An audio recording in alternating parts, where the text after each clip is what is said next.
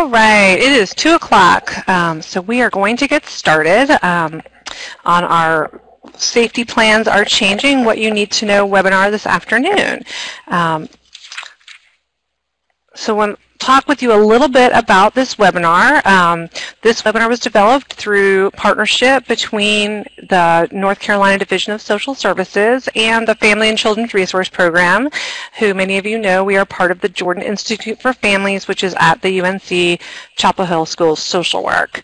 Uh, we do want you to know that this webinar is being recorded, and we are going to make that recording available um, in the next few days so that you can share this with others who are not able to attend, um, and that will be available on ncswlearn.org.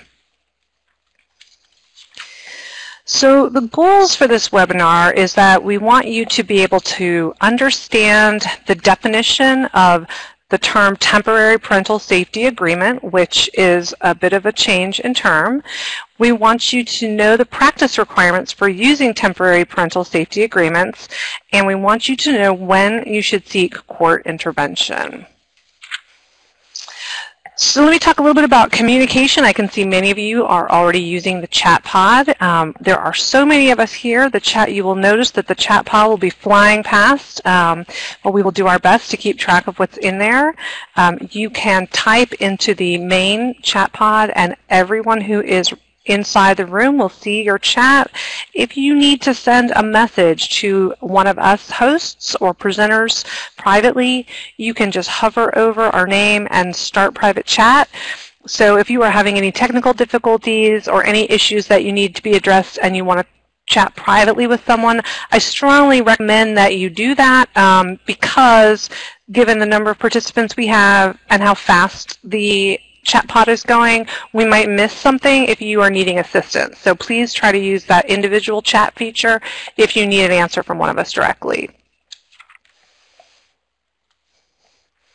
So I want to talk a little bit about questions. Um, typically in these webinars, we leave time for questions, um, which we have done um, at the end of the webinar. Um, however, this is the largest number of attendees we've ever had for a webinar, and um, we're going to be doing our best to track the themes of the questions that are in the chat pod. Um, so behind the scenes, uh, John McMahon is going to be tracking your questions and collecting them for us to have ready at the end of the session. Um, so please do type your questions into the chat pod, but know that we may not answer them at that moment. Um, if we end up with time at the end of our session, we will answer as many of the questions as we can that are common themes. But we do want you to know that there will be a follow-up document where we will summarize all frequently asked questions, um, and we will um, get that out to you as soon as possible. Um, so please, we'll do our best and just bear with us. Another way that you can get our attention during this webinar is to use the icons. Um, and for those of you who are not familiar with the icons, you can see that at the top of the screen above the slides, there's an icon of a person waving their hand or raising their hand. There's an arrow next to that person, and you can click on that and select a variety of ways to communicate with us. Uh, you can see the choices there on your screen. So if you need to get our attention and we're not getting attention from you in the chat pod, please use the icons and that, that typically does let us um, see that you need something.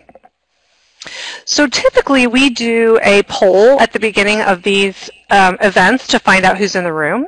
Uh, we are not going to be able to do that today because we have so many people in the room, but we do have some numbers for you just so you can have a sense of who's here. So at our latest count, our total registrations were 1,535 participants. Um, we have over 700 with direct client contact, like child welfare staff. We have 22 agency directors of child welfare and social work. We have 295 supervisors. We have 85 program managers and program administrators. We have 22 trainers and staff development professionals. And we have court folks. Um, from NCSW Learn. Let's see, we've got 145 people from the courts. So we have a lot of our court partners here today. So we're glad to have everybody here, and we hope that we're going to be able to get your, your questions answered and get some information out to you um, as quickly as possible. All right, so um, I'm going to introduce myself and then let the rest of our panelists introduce themselves to you so you know who you're listening to. Um, my name is Laura Phipps. Um, I am a clinical assistant professor at UNC School of Social Work at the Jordan Institute. Um, I have trained in the classroom and online and probably know many of you and many of you know me, so I'm glad you're all here and um, we welcome you. We also have um, Philip Armfeld and John McMahon are here providing um, technical support.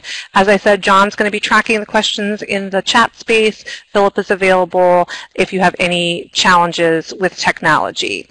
So I'm going to let the panelists introduce themselves, and we'll go ahead and start with Arletta. Good afternoon, everyone. My name is Arletta Lambert, and I'm a child welfare policy consultant with the North Carolina Division of Social Services, focusing on all aspects of child welfare with particular emphasis on child protective services. In this position, I analyze, evaluate, develop, refine, and interpret child welfare policy, child welfare funding, and related issues. And I have served as the point person for the division safety planning project. Thank you, Arletta. Um, let's now hear from Dee.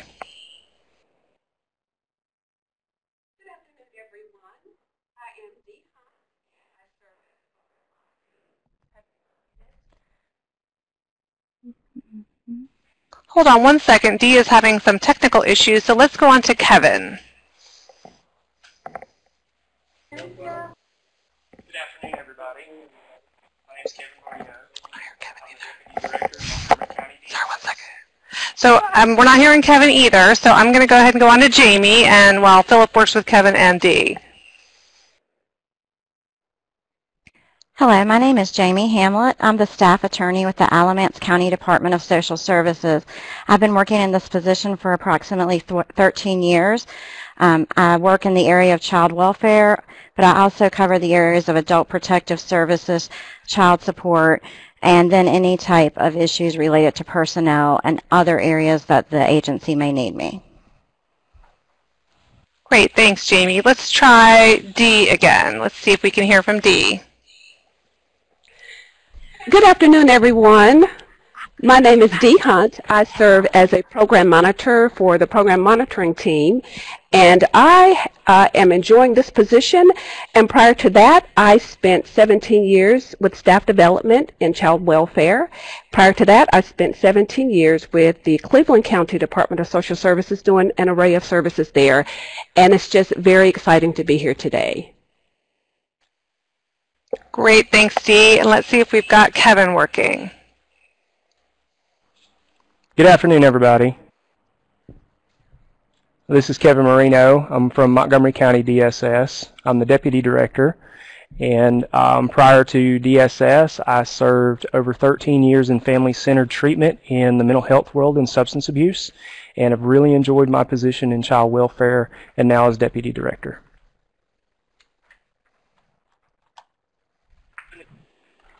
Great, thank you so much, Kevin. Um, I, I, have seen a couple comments that some people are having um, sound going in and out. Typically, that is bandwidth on your end, um, but if you are continuing to have trouble, I encourage you to highlight over Philip and private chat with him.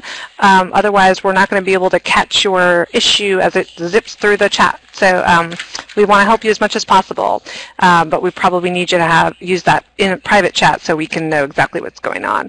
Um, there was a question a moment ago in the presenter, um, presenter pod, and um, John has captured that question, and we will be answering that at the end of our time together.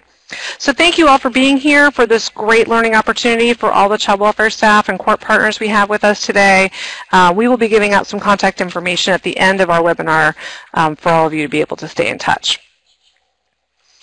All right, so the agenda for today, um, first of all, we're going to give you some background and some rationale as to why things are changing in this particular area.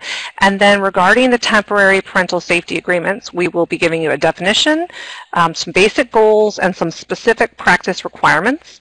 Uh, then we're going to spend a little bit of time on specifically when court intervention is indicated. Um, we're going to hear some experiences from Jamie and Kevin about what's been happening within their own counties. And then, like I said, if we have time, we're going to do our best to answer some questions. So I'm going to pass it now over to Dee, um, who's going to get us started with our content today. Thank you very much, Laura. The first thing we want to ask is a question, and the question is why are we revisiting policy and practice around the use of safety plans? Well, there's actually a very good reason. First, over the past few years, safety resource placements have frequently been used by CPS to help ensure safety, permanence, and well-being for children and their families. There's been some trends that we have also been looking at, and they are frequent use of those safety resource placements and children remaining in those safety resource placements for long periods of time. Yes, sometimes years. So the revisions to North Carolina's policies and practice guidelines around the use of safety resource placements, which you will hear more about in a minute, were significantly influenced by, one, the findings and recommendations of an in-home services work group composed of statewide representation of county child welfare staff. Number two, the results of research regarding updated child welfare practice in other states regarding safety planning and safety assessments. And three, the program improvement plan strategy of strengthening North Carolina's safety and risk policies. So as you think about your agency's use of safety resource placements, let's now take a look at the first poll question. If you will watch your screen for that. So the first polling question is this. During the initial safety assessment, how often does your agency use placement of the child outside of the home with the safety resource as a component of the safety response? Rarely, less than half the time, frequently, almost always, I have no idea.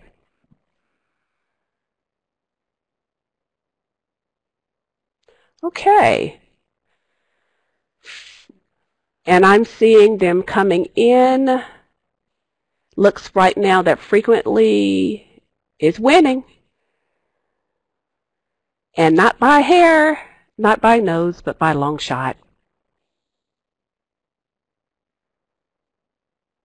Very good. And we're going to let those just climb. And what we're going to do is we're going to broadcast the results in just a moment. And thank you very much for participating in the poll in question.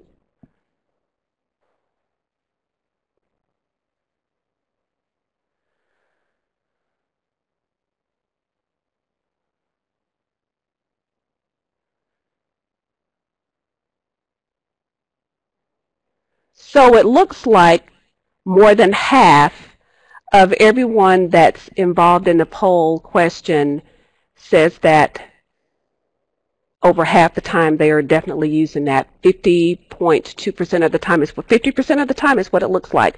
Okay, thank you. Uh, we're going to end that poll right now. And now we're going to go on to the next one. We'd like to ask you another question. How often do these safety resource placements continue into in-home services? Is it rarely, less than half the time, frequently, almost always, or I have no idea?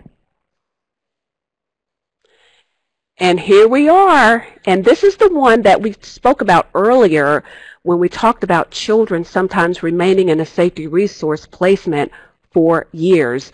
And so as you can see, it, you're seeing that almost always is winning. So this right here alone tells you the reason why North Carolina had to revisit our use of safety resource placements.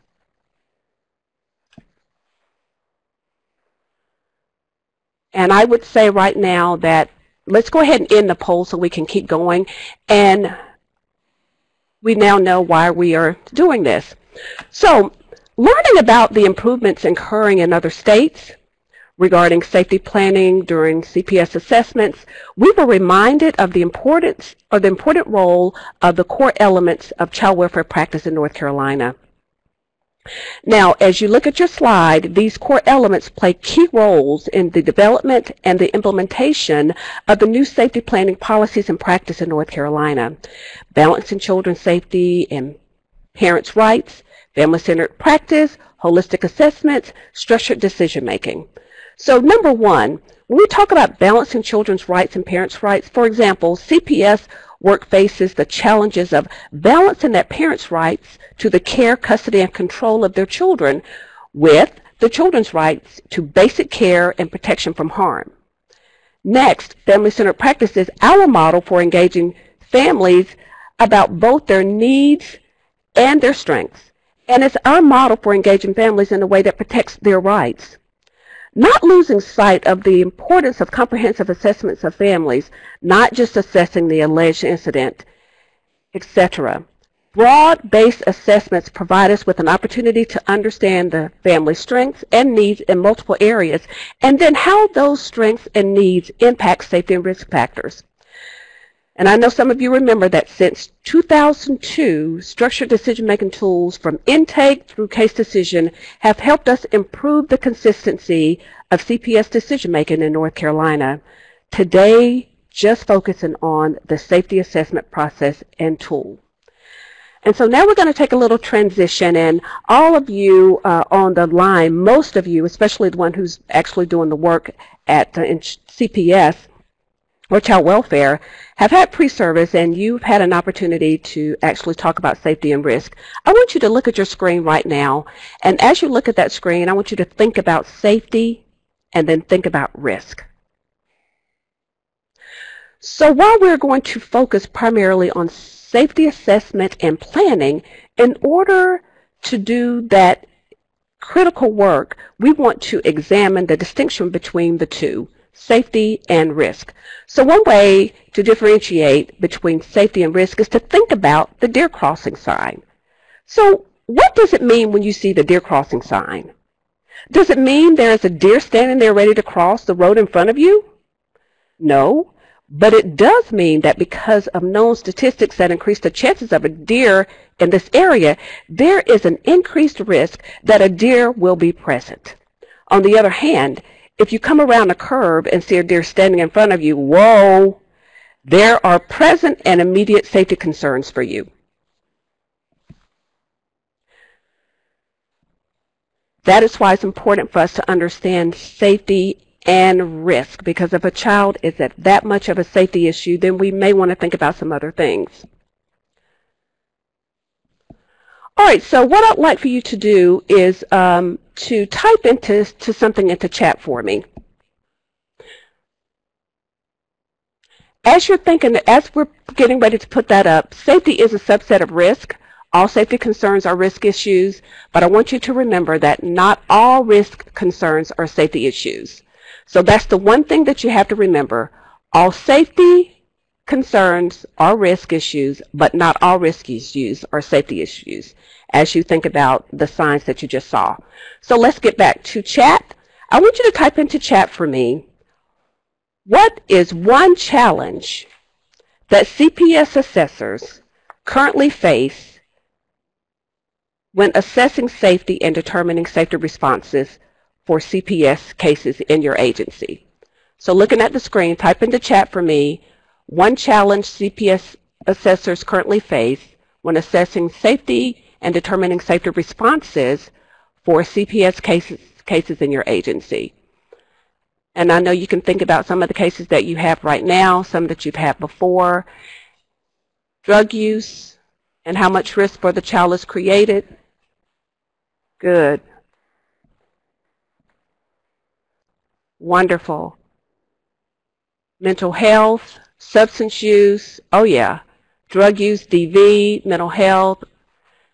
You know, honestly, I think all of you must work for the same agency. We are seeing some of the same issues, drug abuse, drug, drug use, substance abuse.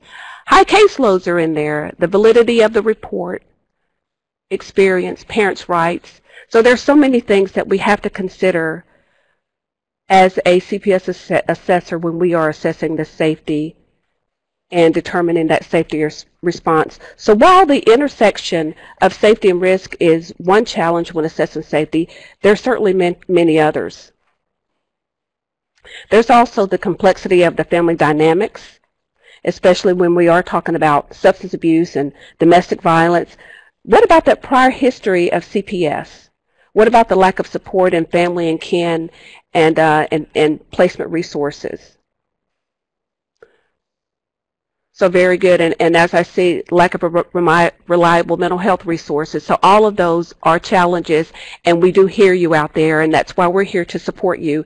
So what I'm going to do right now is I'm going to transition to Arletta, and she's going to talk a little bit. Uh, she's going to go into the temporary parental safety agreements. Arletta? Thanks, Dee. With the distinctions between safety and risk in mind, and the multiple challenges that CPS assessors face, let's define temporary parental safety agreements.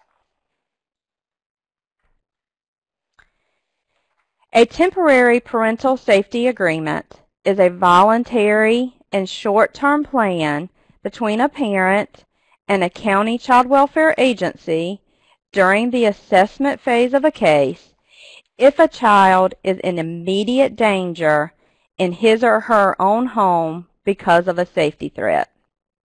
So if you look at your slide, um, we have some graphics there that point out some of the key words um, that are a part of this definition. Um, voluntary, short-term, during the assessment, immediate danger. Um, and so the most critical thing I want y'all to remember about a temporary parental safety agreement is that it is meant to be short-term and temporary, and it is now only a resource during the CPS assessment phase of a case.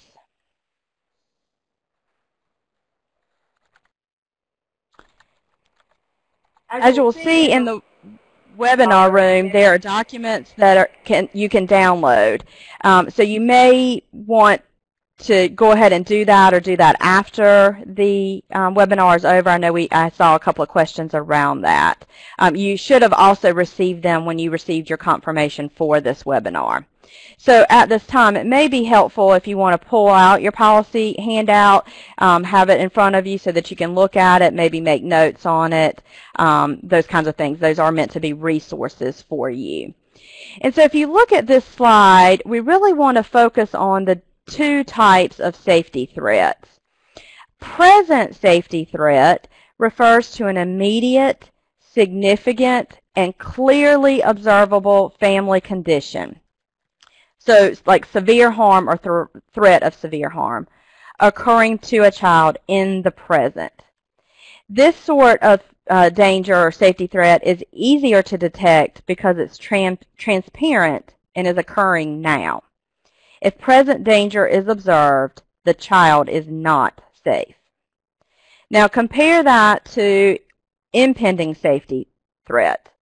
This refers to threatening conditions that are not immediately obvious or currently active, but are out of control and likely to cause serious harm to a child in the near future.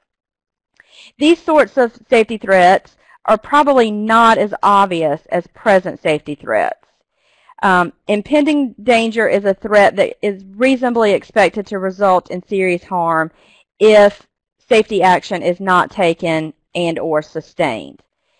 These threats may or may not be identified at the onset of, onset of the involvement by the county child welfare agency, but are understood upon a more complete evaluation and understanding of the individual family conditions and functions.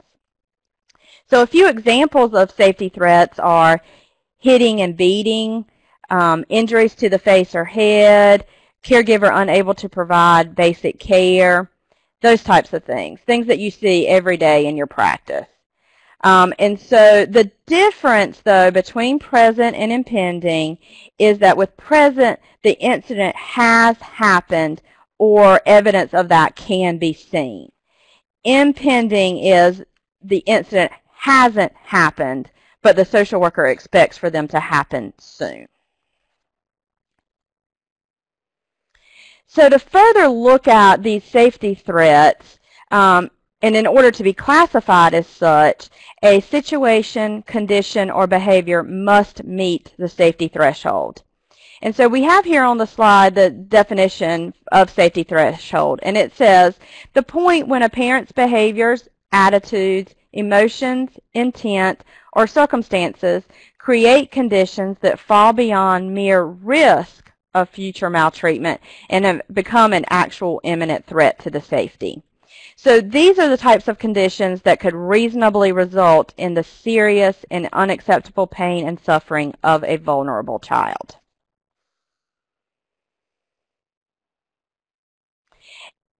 In looking at this slide, again, you may find it helpful to look at page one of your policy handout. So there are four main categories of safety actions that may be incorporated into a temporary parental safety agreement. The first that you have is resource support, and this refers to safety actions that address a shortage of family resources and resource utilization. So maybe things like obtaining water, electricity, food, child care, those types of things. And the absence of those types of resources directly threatens the safety of the child. The second type of safety action is social support. And these include actions that will reduce social isolation. So when these are utilized appropriately, it reinforces and supports the capacity of the parents or other caretakers.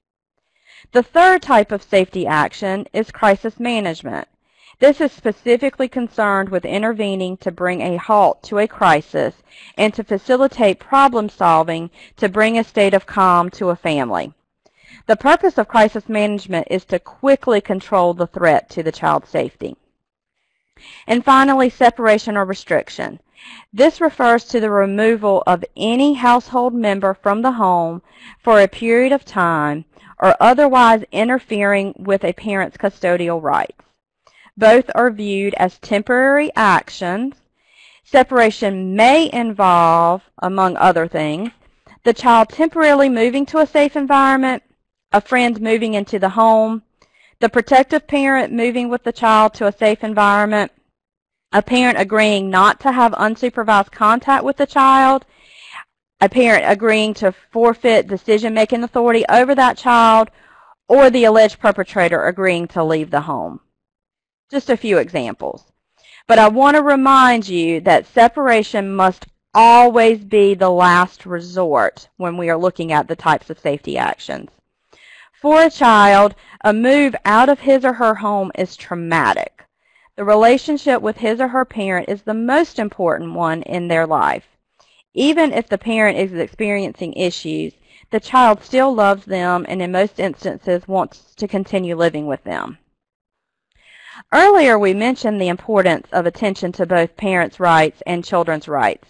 Safety actions falling under the separation or restriction category affect a parent's custodial rights.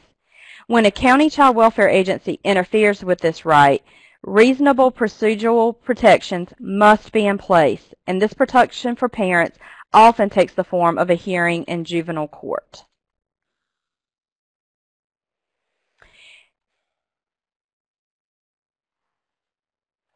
And so if you look at the slide, this was just kind of a summary for what the basic goals of a temporary parental safety agreement are. And so we want them to, they're sufficient to manage safety. They are reasonably tailored to the allegations provided in the report and the safety issues that exist within the family.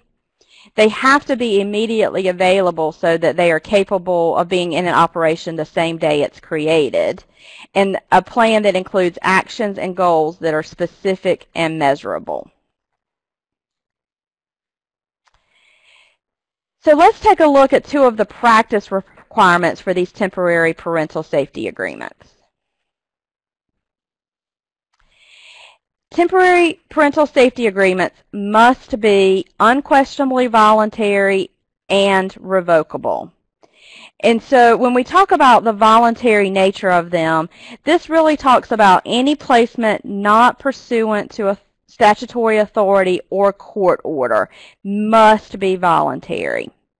And then revocable, um, there must be a procedure outlined and explained to the family about how they can um, review and or revoke any part of the agreement.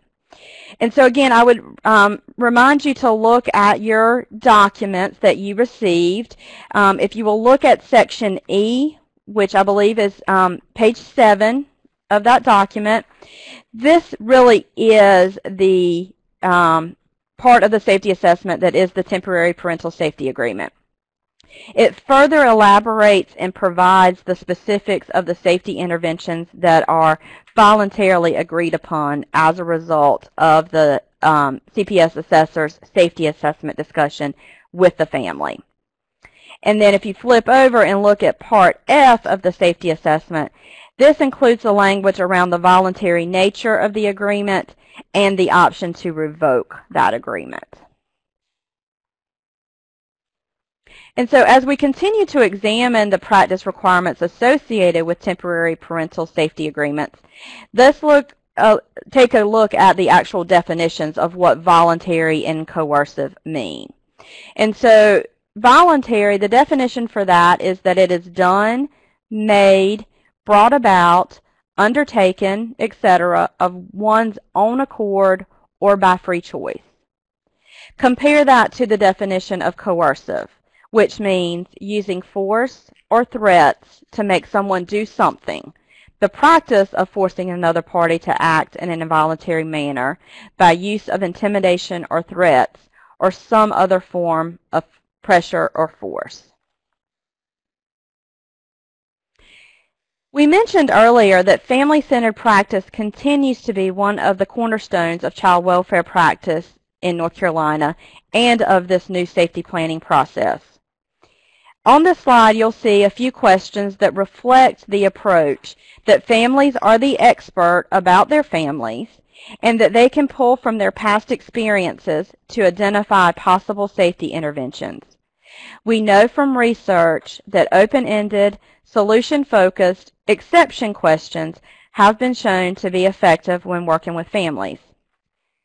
Some of these questions you see on the slide were developed by Alamance County DSS.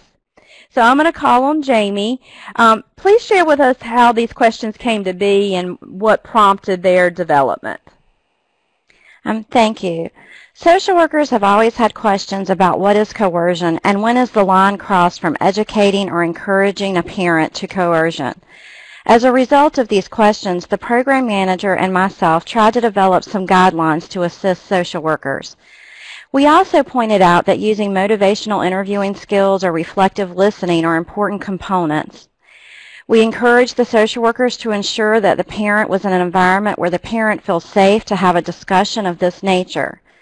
And explaining the purpose and the process to the parent, because people are motivated to make changes if they feel empowered, and one way to empower a person is to provide them information and education on the process. We also advise social workers to always be honest about the duties of the department and to explain the potential outcomes, especially when a parent is inquiring. Thanks, Jamie.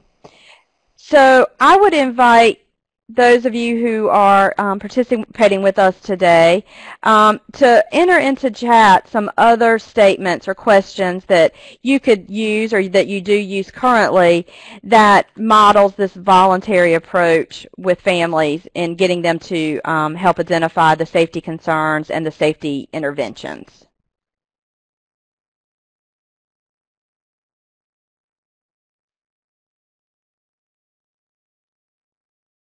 I can see everyone's fingers typing away. Identifying strengths, yes, I, I, think that's a very important point that we do want to um, key into those strengths and play on those and use those um, to help ensure the child is safe. I love the questions about, you know, what have you done in the past? How has that worked for you? Using family and friends, very nice. Very nice. Continue entering those in, and, and we will um, be happy to capture those.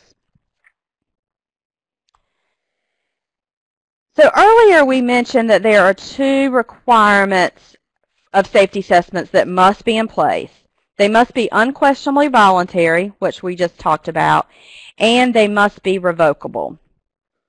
Revoke means to withdraw agreement to the formally agreed upon provisions of the temporary parental safety agreement.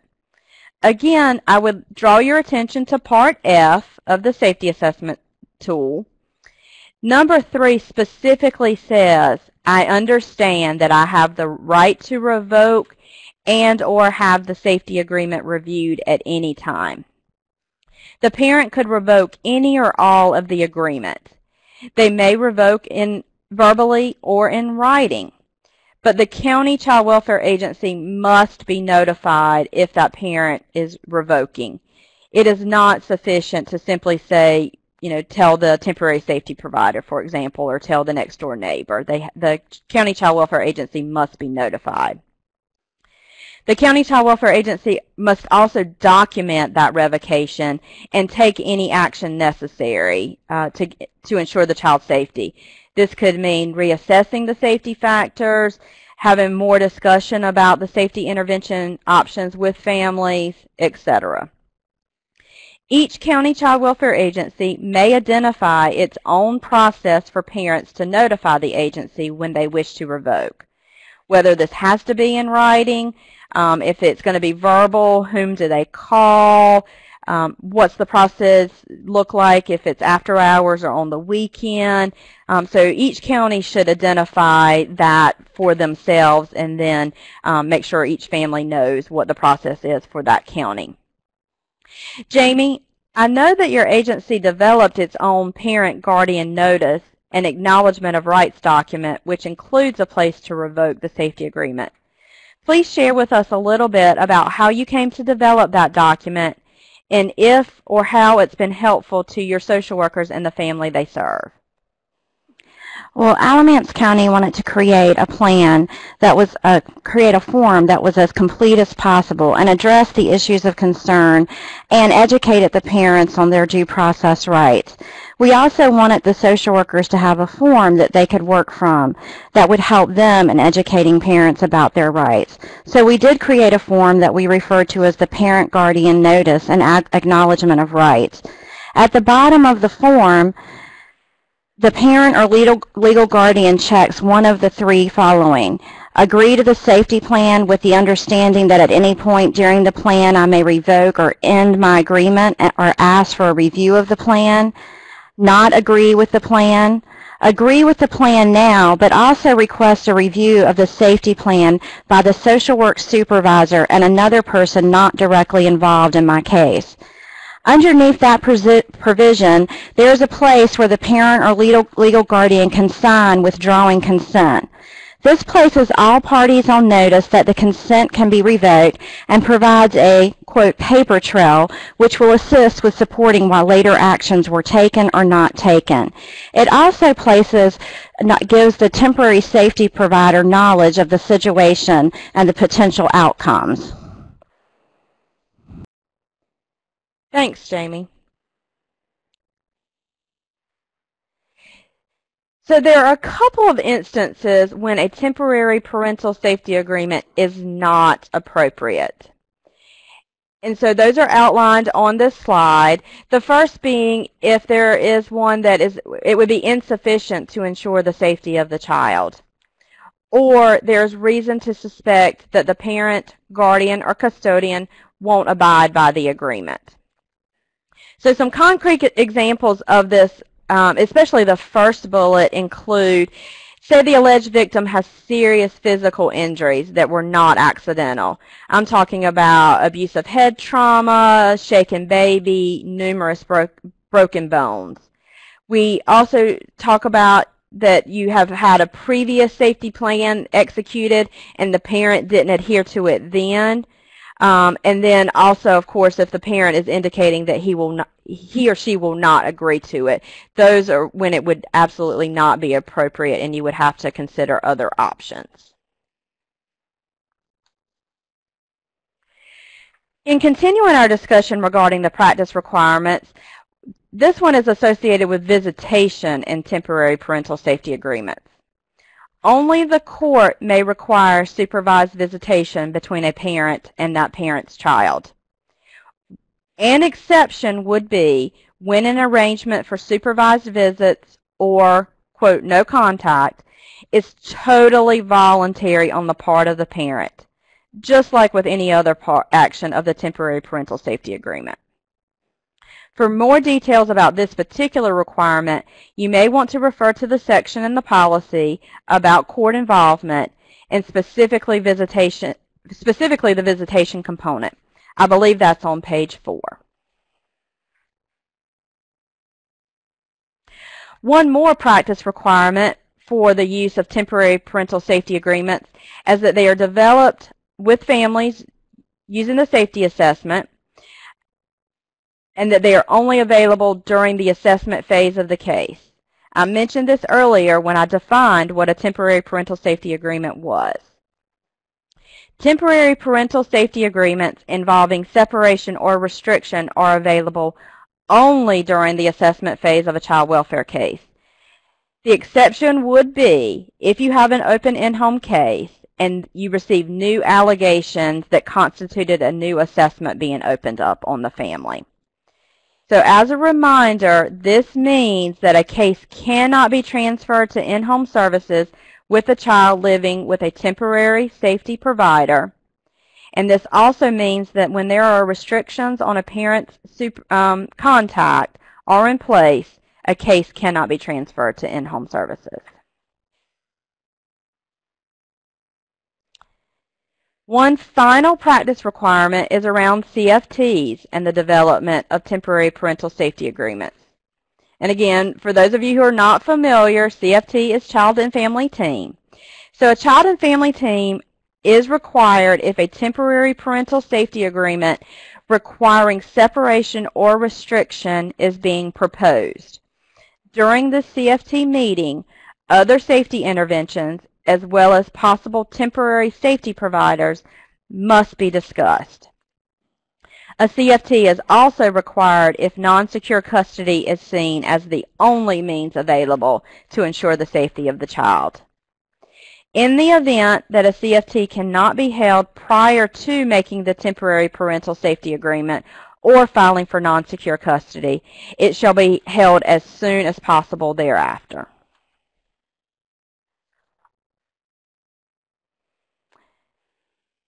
And at this point, I'm going to transition back to Dee to tell us a little bit about when court intervention um, must be sought. Thank you very much, Arletta. I appreciate that. And so we've heard about the practice requirements. Now let's talk a little bit about when we should involve the court. Earlier we talked about family-centered practice being the cornerstone or key element of practice. And before we go into court intervention, here is a poll question. So we're going to bring it up, and the poll question is this. Involving the court is inconsistent with family-centered practice. Again, the poll question is, involving the court is inconsistent with family-centered practice. This is a yes, no, or I'm clueless answer. Okay. Most of you said no, it is not inconsistent, but we do have some clueless answers, and, and we do have some yes, it is inconsistent. Okay, I think we can close that poll now. Thank you very much. I appreciate that. Uh, over half of you, about 87% of you said it was not inconsistent. Those of you who said that it is not, you're correct. Although it may seem that filing a petition in juvenile court could be detrimental to a parent and the family, allowing the parent to have that hearing or another form of due process when his or her protected custodial rights are implicated is consistent with family-centered social work practice. It gives them an opportunity to certainly tell their story. So let's talk about the times when court involvement must be pursued. If you will look at your screen. It must be pursued when an agreement that ensures safety of the children cannot be made between the parent and the county child welfare agency. You must involve court. The temporary safety provider recommended by the family lives in another state unless there's a border agreement, like maybe between North or South Carolina. Court must be pursued. Or a temporary parental safety agreement involving separation is in effect and needs to remain in effect at the time the case decision is made. You must pursue the court.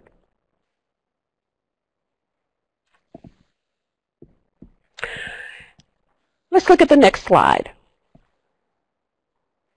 The most family-centered thing you can do is first try less intrusive strategies to keep the child safe and if those aren't possible, then allow the parents the opportunity to be represented and have their case heard in court.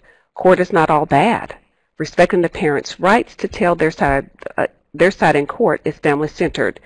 I'm sure you've probably heard this over and over again. This is from our colleague, Holly McNeil, the MRS consultant and trainer. Thanks, Holly, for that statement. We appreciate that. I would like for you to just give some thoughts about that right now. If you uh, believe in that, if you think that is absolutely something that you believe in, you can certainly um, type something in chat about that.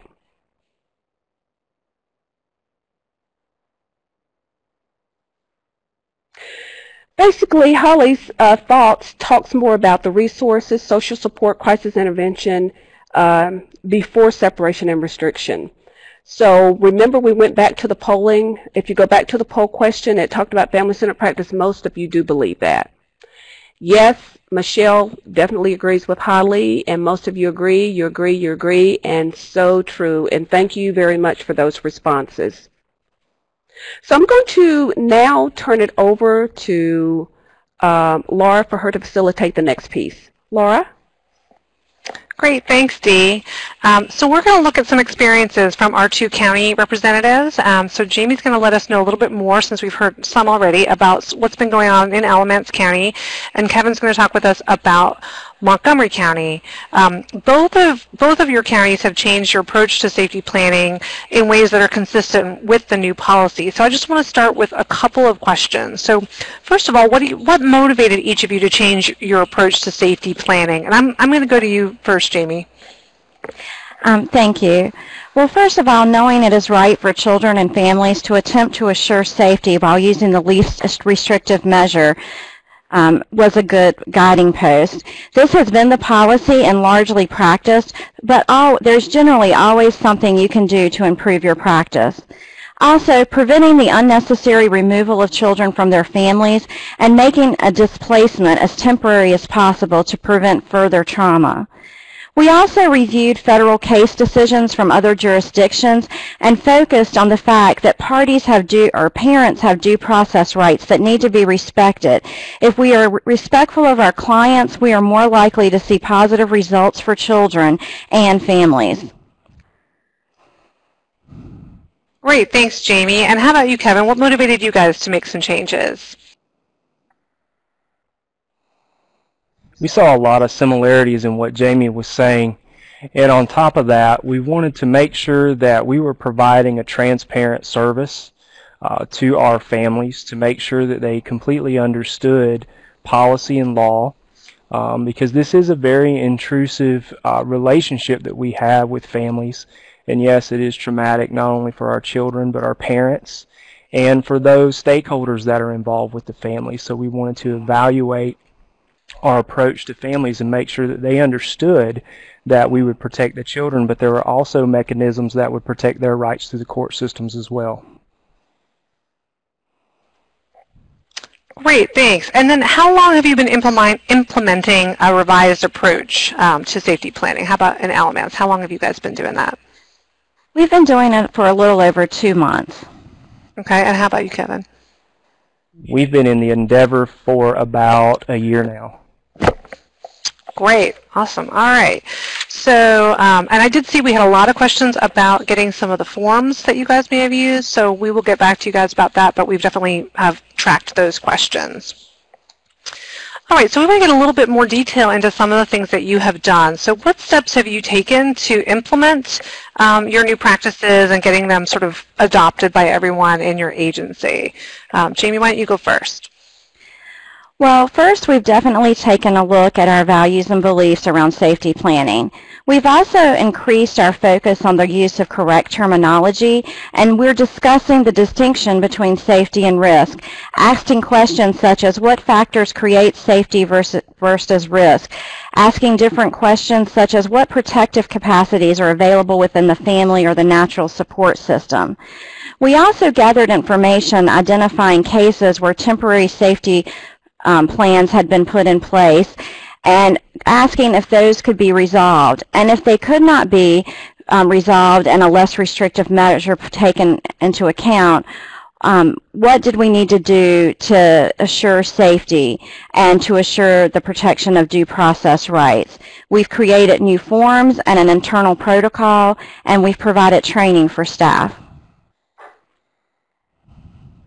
All right, and uh, what, what about you guys in Montgomery County? What did you do to implement your changes? along some of the similar guidelines that, that Jamie has discussed, uh, we did have thorough discussions with our uh, district court judge and we have all of our judges that we have conversations with because we have a rotation um, in order to understand the impact to uh, longer days in court maybe.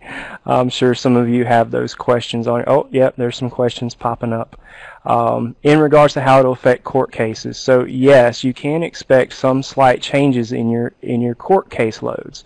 Um, because you may find that the appropriate steps and even parents deciding that they want us to go ahead and file a juvenile petition so there'll need to be some conversations around not only agency values and beliefs and safety placements but what do uh, your judges, your GALs, uh, even school personnel, how is this going to affect and impact your community as a whole? Uh, the, the big point that we drilled down on, as Jamie alluded to, is decision making. How do we make um, thorough but responsive decisions with staff? So we have created and implemented a staffing form that we use and require once you initiate a case, any specific changes in a case that looks at the allegations, the interventions provided by the worker, and the outcomes of those interventions provided. We also are looking at and working with uh, uh, what we call a live supervision tool that we use out in the field with social workers as we listen to how they talk with families, giving them feedback in the moment. So we're looking and addressing those decision making points around the different language that they use with families to help provide an atmosphere of live feedback so that we are continually growing and learning how to communicate with families uh, no matter what type of allegation that's coming across if it's sex abuse or uh, mom got drunk last night and we're seeing some effects with that in a positive light.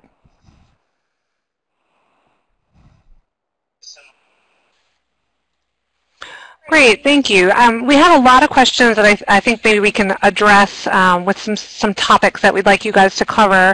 Um, so first of all, um, how, how did you handle sort of the confusion or um, resistance to change from, from workers? Um, Kevin, do you want to take that one first?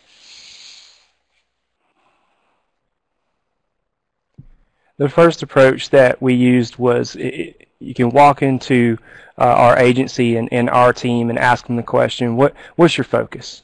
And uh, they're going to say safety. I hope they're going to say safety. If you're listening to me, team, you better say safety. Um, and what does that mean specifically when we look at safety? And as we, uh, as Dee and Arletta have walked us through earlier, what is imminent and what is impending? Um, so that's been a major uh, focus with our conversations with staff. And taking time, not being so quick to rush, but explore their thoughts and ideas because they are our frontline staff and, and they get all of the the wonderful um, gifts that our families give them in the moment. Um, and we want to take that and listen to it carefully and not implement too much change too fast, but to make sure we do it correctly. Great, thank you. Um, so there have been several questions, and you've answered a little bit of this already about the increased filing of petitions. Um, I actually did see you. I think you said the word slight, and we had a comment of someone saying, "Really, slight?" I think they were a little worried about that. Um, so just sort of practically speaking, and I don't know, Jamie, if you want to take this, or Kevin, since you've been doing it a little longer, um, just how has that impact impacted the workload, the number of cases going to court? How have people dealt with that? Um, well, Laura, I'll begin by talking about the fact that there has been an initial increase in the drafting of, and filing of petitions, but I actually think that there's a hope that we'll, we, we will see some of that resolve as we go through our in-home cases where we have temporary parental safety agreements in place. Um, because as you begin to take more time, as Kevin said, and not just rush to judgment, but really hone down what are safety issues versus risk, I think you could actually see a reduction in the filing of petitions. Um, we have seen an increase we generally, and I've seen several questions about do you have to file a petition and take non-secure. In Alamance County, we have long had a practice of filing what we refer to as general petitions or non-compliance petitions, and it's simply just a petition without the non-secure. And so that's one way of handling this and getting the matter before the court and assuring that all the parties involved have their due process rights. Um, We've also seen a change in how we review cases, um, and we've taken steps to help educate our community partners like our judges, the guardian ad litem, um, and the clerk. And we are very fortunate that even today we have many of our community partners taking part in this webinar because they're interested in learning more about those change in the policy and practice and making sure that we continued a family-centered approach, not just before things are brought to court, but also after actions are filed and actions are in court. I think another thing that we've seen in our county that was not directly linked to this policy change, but has helped everyone be more sensitive is we are becoming an trauma-informed agency and doing trauma-informed work across the different venues of our agency and with all of our families.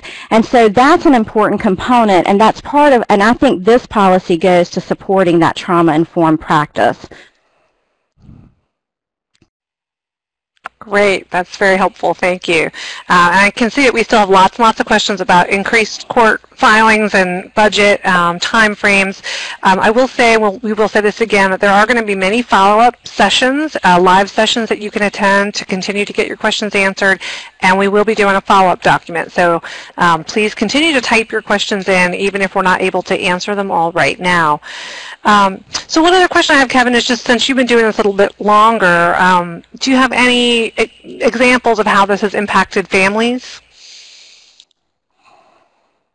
Yes, the, the impact to the families has, has been positive. Uh, we're in court. The, um, the juvenile petitions um, to address there, the time frames are different. We don't spend a lot of time in court on those petitions.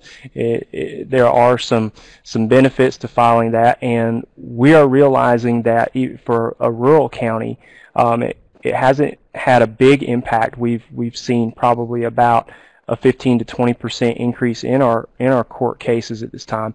But what it does is that it helps the family go before the judge and tell their story to the judge. And we come together and collaborate with the judge to find out what services that are needed.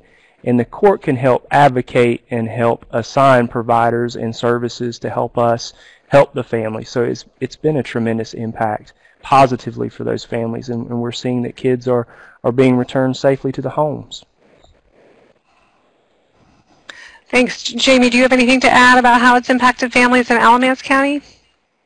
Um, I actually wanted to share an experience we had. We had a parent who had a child with one mother, and that case was already in the court system. He entered into a temporary parental safety agreement regarding a child with a different mother. Um, subsequent events occurred, and he revoked his consent. And as a result of that, the department filed a petition and took non-secure custody. But it was very empowering that that father knew the court process. He knew what lay ahead of him. But he felt the best decision for his family was to revoke and move into court.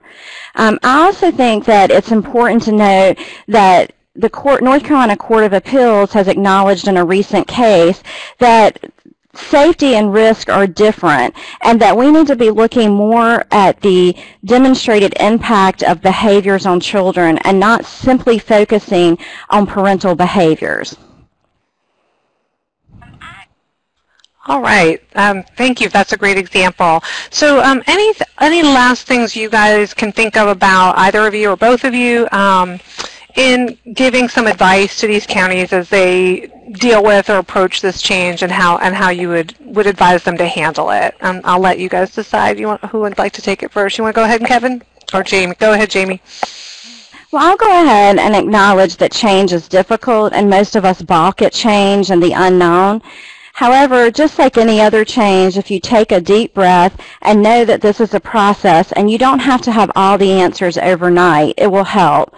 I also think it's important to review literature and information that talks about the traumatic impact that removal alone has on children and the need for frequent contact and communication between parents and children to help you appreciate the philosophy that supports this practice. Um, I think remembering that this policy may be new, but it has always been the policy to provide least, least restrictive alternatives. And it's not truly new, but really just a fine-tuning of those skills you already have. And if you're worried about increased workload, there probably will be an increased workload. So let's plan for that. And are there ways that we can work more efficiently without working harder? And sometimes you have to revisit your processes and your procedure, and that's usually an ongoing challenge that you have to do. That's great advice, Jamie. Kevin, is there anything you would add about uh, just how to handle this change? important to remember is to gather what your staff is saying from your frontline staff, not only your assessors, but also listen to what your intake workers are saying, your in-home workers are saying, your foster care and adoption workers are saying. Listen to what all of them are telling you. Listen to your supervisors, your program managers, and your program administrators, and listen carefully to the feedback. But you're going to have to reach out into the community in your home and have conversations with judges. Uh, you're going to have to evaluate your own program and implement some type of change strategy so that you can make some benchmarks and taking small steps towards the goal here. Um, you're, you're not going to be able to overnight turn a switch and, and expect that um, this practice is just going to come alive. It doesn't work that way. So it does take a lot of front-end energy, and that's what we tell our families. Let's spend a lot of front-end energy and find the solution that's going to work for the long term because that will be more effective uh, for everybody in the community.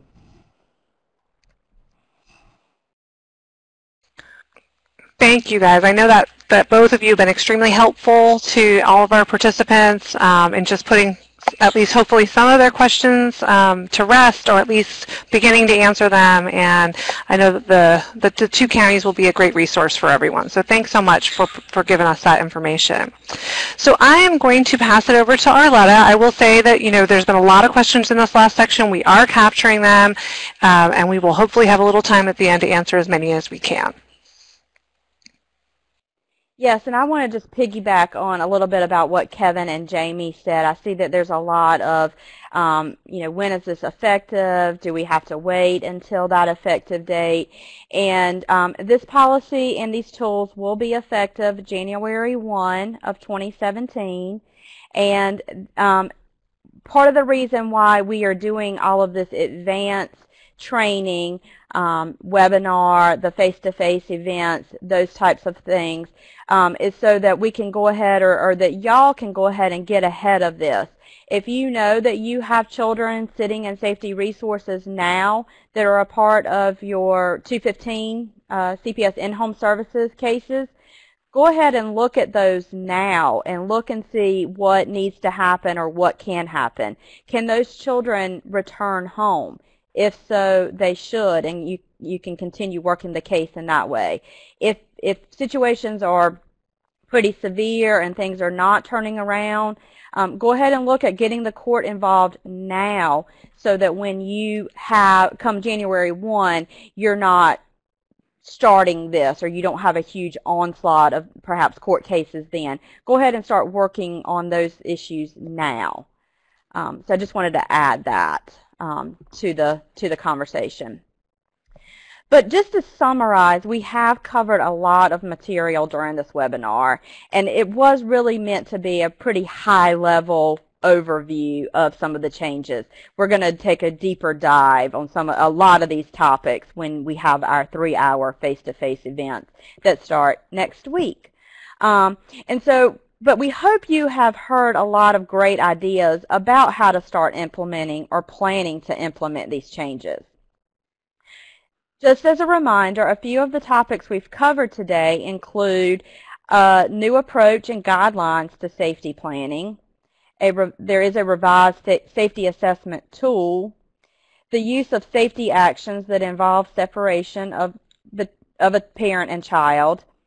Safety actions that involve the restrictions of a parent to his or her child.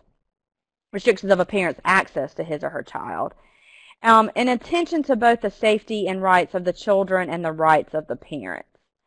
By providing a more concentrated focus on resolving safety issues as quickly as possible, making sure separation or restriction as a safety intervention is used as a last resort, reuniting children and families more quickly following separation and resolution of the safety issues, providing services that can support parents in resolving safety factors, and or finding other permanent solutions more quickly. All of these things help assure the safety and permanence and well-being of children. Also, in adhering to the revised approach, we avoid the situations where children have remained in safety resources for lengthy periods of time. Many of us think of this and even call it out loud a pseudo foster care system. And as a result, children are deprived of such benefits.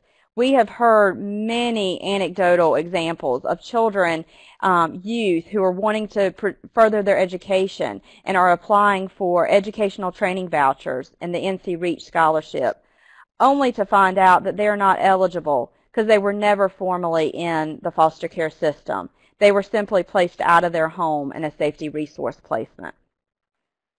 In addition, and Jamie mentioned this, the new approach is more trauma-informed because the time frames and focus on resolving the safety issues result in less trauma for the children involved, the parents, and the safety providers. And so this next slide really just kind of summarizes what I reviewed with you. Um, it kind of juxtaposes the um, how it is helpful to counties as well as how it is beneficial for the families that we work with. And so at this point, I think we are ready to move into um, a period of question and answer. All right, well, I just want to thank all of you for your questions. Um, and as Arletta said, when they do these live events, um, they'll have a chance to get more deeply into the issue and answer some of the specifics.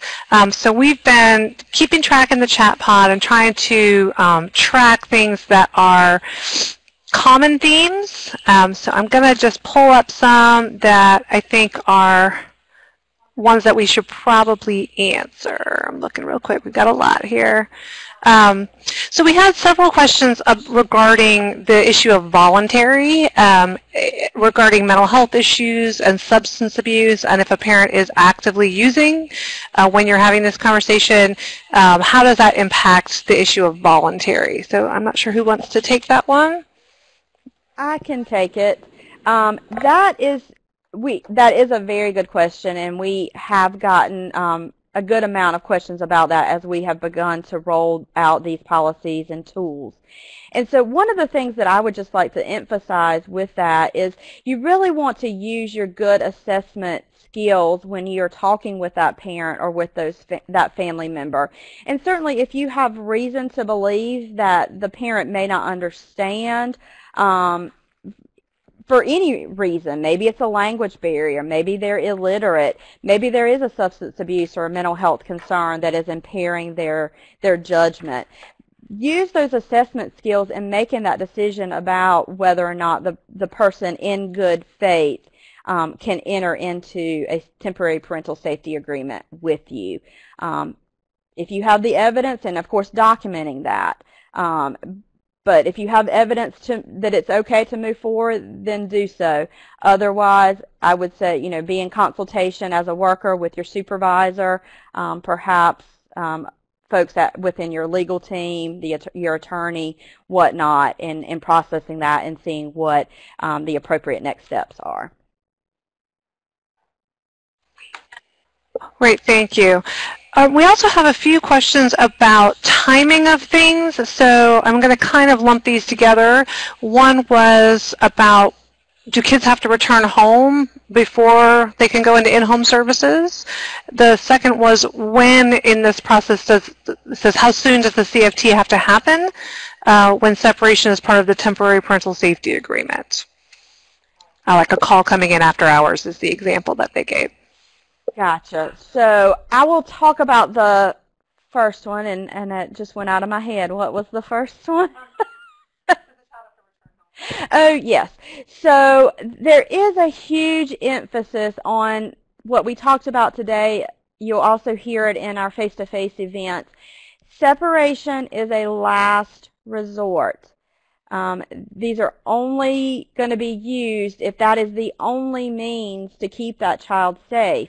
Children want to be with their parents. Parents want to be with their children. And so it's our job to help make sure that that can be done safely. And so in the event you do have a child who is uh, residing out of the home, um, in order for that case to transfer to in-home, that child would need to be living in the home with his or her parents, um, hence the name in-home services. Um, and so that will be a crucial point. If the child, for safety reasons, needs to remain separated from his or her parents, that's when you would get the court involved to have the court oversee that separation and sanction that. Um, regarding the time frame for holding a CFT, if you have to do something um, immediately, say after hours or on a weekend, um, it's very difficult to put a time frame on that, knowing the different circumstances that may come up on any given day. Um, what what we just say is as soon as one can be convened this is not any different than what the CFT policy currently says around if you have to go ahead and pursue non-secure and you can't hold a CFT beforehand. You do it as soon as possible. Um, we may look to put a time frame in that before this gets released in January, but as of right now, it simply says as soon as possible. All right, we have had several questions regarding revoking um, that fall into various categories, but there are things like um, will how will will a parent can a parent revoke without notifying someone um, at at DSS? Like will a revoke happen just if they say I'm revoking it and it's done? Um, there were questions about if um, either parent can revoke an agreement.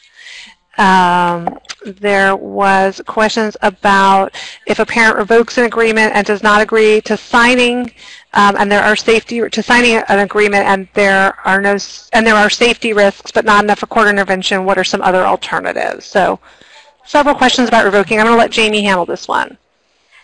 Um, so Laura, um, I think that we all know that parents choose to revoke safety plans sometimes without notice to DSS.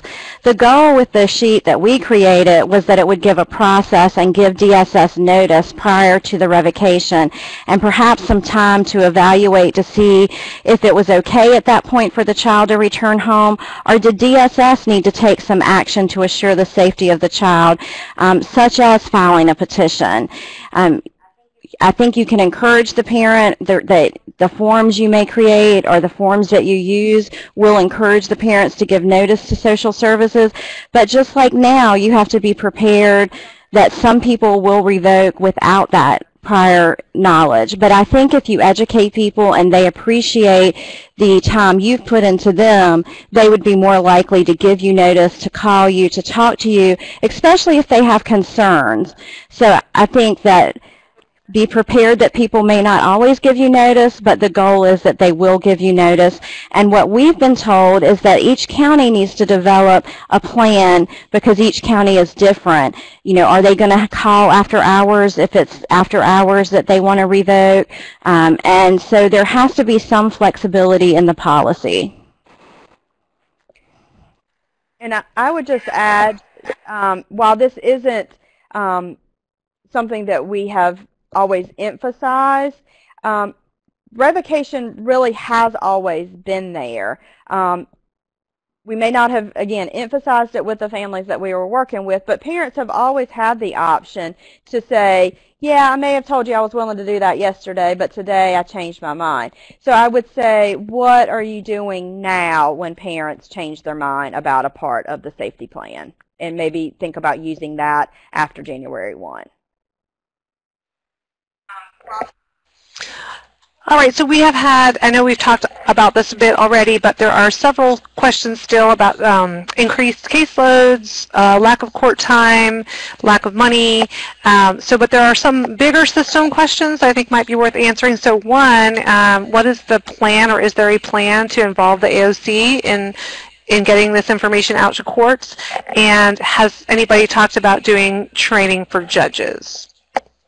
So as Laura mentioned at the beginning of the webinar, we have many court partners on participating with us today. Uh, they also will um, be participating with us in the live events um, statewide. We, at the state level, have been having conversations with our peers over at the Administrative Office of the Courts. Um, and we started having those conversations back in April or May. Um, and their response is, has been Thank you for the information. We will partner and work with you any way that we can um, in in um, response to these changes. Um, we are always available to present at judges conferences, um, attorney conferences, and I want to emphasize, this was something that came out yesterday, um, we're not just going to make this effective January 1 and, and leave you high and dry.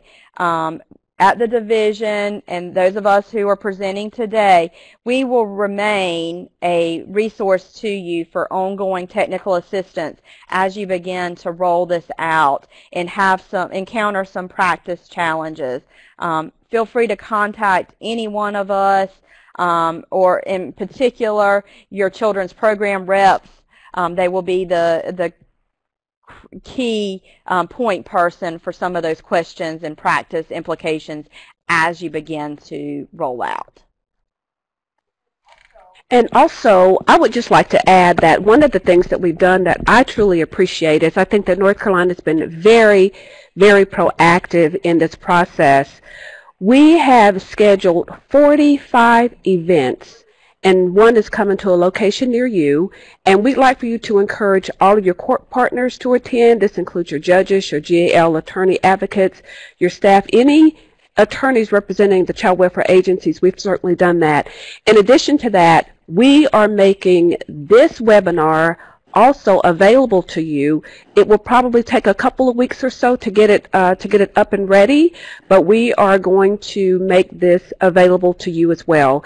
And I also just kind of reiterate what Arletta has said is that we certainly are here for you and we will certainly help you make this happen. So I just appreciate the fact that uh, North Carolina has been uh, proactive in this and we also have put out many, many events that will uh, will help you answer some questions. For example, today was just kind of like an appetizer, but there's going to, to have to be 45 more entrees coming that will give you more. You'll be in a classroom. It'll give you an opportunity to ask those questions and get your answers right there. Thank you, everyone. Uh, I think we have time for just a couple more questions. I'm trying to uh, just skim through the chat pod, which is very full. Um, so we have one question about, um, well, let me go back up here. This was one that I think several people wanted answered. Uh, major concern is that if a petition is filed due to the parent's refusal to sign a safety agreement, that there's going to be a gap in time when there's no safety agreement in place, but DSS is responsible for ensuring the child's safety. How do we deal with that?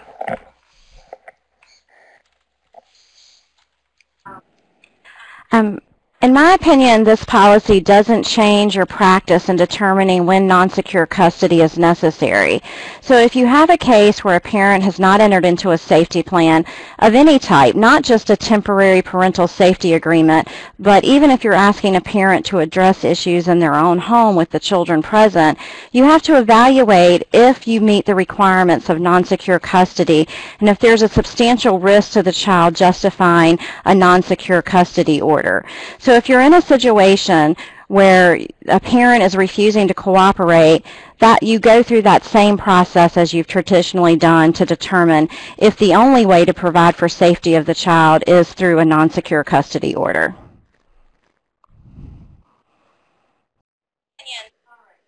All right, thank you so much. Um, let's see, one more. Um, I just had one that I saw that I thought was a good one we should answer. So this says, if petitions are needed, do we file them in the assessment phase or transfer to in-home services and then file? I believe that the policy reads that um, you will file them prior to transferring to in-home services. Um, and so because it really is the judge adjudicating there there is some sort of abuse, neglect, dependency found that would give the right and the authority to um, provide those in-home services. Um, and then, of course, the judge, if the child is uh, with a temporary safety provider, the judge could then sanction that um, plan as well. And so um, we may need to further look at that and provide some TA around this specific issue. But right now, the policy does say that you're filing prior to the transfer.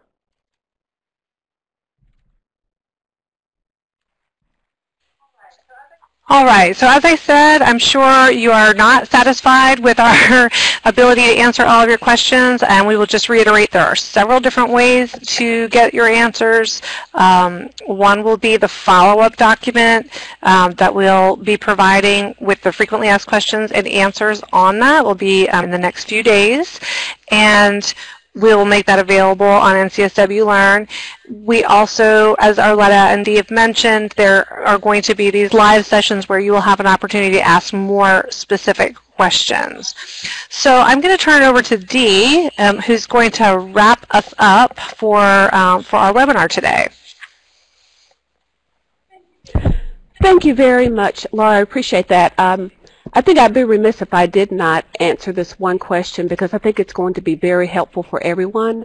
It's a question that says, uh, why is this not being piloted? It's, it's a very sweeping change and, in their opinion, not very family friendly or family centered. Um, so let me just respond to that really, really quickly. One of the things that North Carolina has done is they've done some very, very empirical research on what was happening in other states where this was concerned and other states were being sued. And we talk about it not being family-centered, if you'll think about it for just a moment, we were uh, having safety resource placements and telling people that you must not visit with this person, you must not do this, you must not do that, and we really didn't have the legal authority to do that. In this case, if there is a legal authority, the court will tell them that. That is why there is a slide about visitation, because we were telling them without authority who they could visit with and who they could not visit with. These are some of the things that we that we have also seen as we look at safety resource placements in um, in the program monitoring that, that we're doing. So if you'll think about it and just read your policy, I think it will be a little bit more family centered because at least the parents will have an opportunity to have their rights heard uh, in court and, and their rights will be honored. So let me go ahead and wrap up. I just want to say that um, I appreciate this opportunity. Uh, I want you to know, I mentioned just a minute ago that this really was is just an appetizer, so I don't want you to leave this session thinking, well, I don't really still, I still don't understand it. Anytime that you are introduced to something new, you become aware. The knowledge happens as you get an opportunity to ask questions, and those questions are answered. So you're now at an awareness level. That knowledge is coming, I promise you. So as you think about this, when you get ready to, uh, to talk about it and as you leave the session, know that there are 45 events held statewide One is coming to a location near you. So just please, as I said before, encourage court partners to attend. You, some of your staff attend so, the, so that you can get some of those uh, questions that just were really burning uh, answered in the training room. And in 2017, there will be other courses that will offer curricula revised that will also include the new safety planning and assessment policies and procedures. I'm happy that we are with the state of North Carolina, who's very, very proactive. One of the things is that we haven't been sued uh, over this. Some other states have. So, um, so we're, we're excited. So just make sure that you are coming to some of these. And I just want you to know that we said earlier, um, we are available to you. Now, now that I've finished all that, uh, I would like for you to type something into chat for me. Uh, So do you can see that there's been a lot of answers to that chat question already. If you want to scroll back, there's been some excellent answers specifically around um, talking about CFTs and their leadership, um, talking with their judges and court and attorneys, um, getting started as soon as possible.